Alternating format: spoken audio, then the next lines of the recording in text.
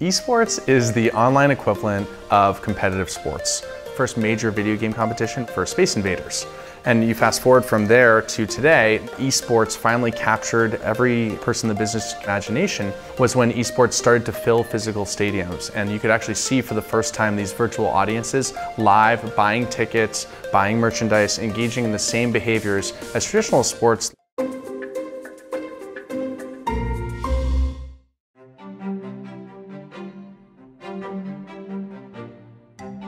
There are quite a number of revenue streams in the esports industry, just like the sports industry. So at your most basic level, you have the game maker and selling the game. That would be like your equipment makers like Adidas or Nike selling equipment in the offline world. Your next level of the pyramid, you have semi-professional competition. You have things like crowd-funded competition and companies like Valve, which make Dota 2, selling entry fees into competitions with prize pools. At your peak of the pyramid, you have brand sponsored competition.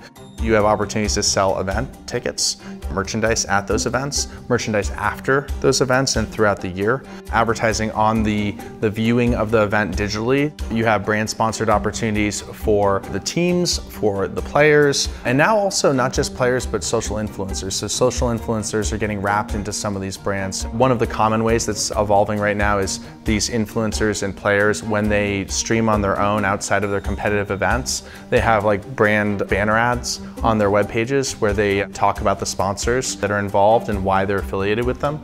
The way a NASCAR driver engages with brands is pretty different from how an NBA player does. So I think what's going to happen in esports is similar to other sports in the sense that brands will engage with these personalities. They'll build affiliations with their audiences, but different in terms of the actual frontline execution.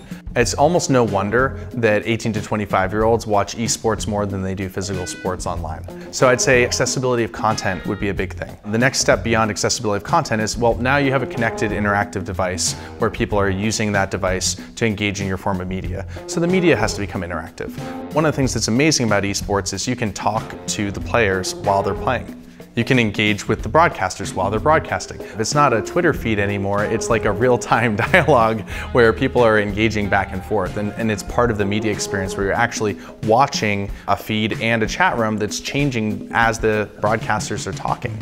We're in 2018 and 10 years from now, we're probably playing VR-based experiences and a mass society level. Esports may transcend from being clickable computing games to experiences where you're actually running around a warehouse powered by a a computer that might be in your pocket or might be attached to your clothing.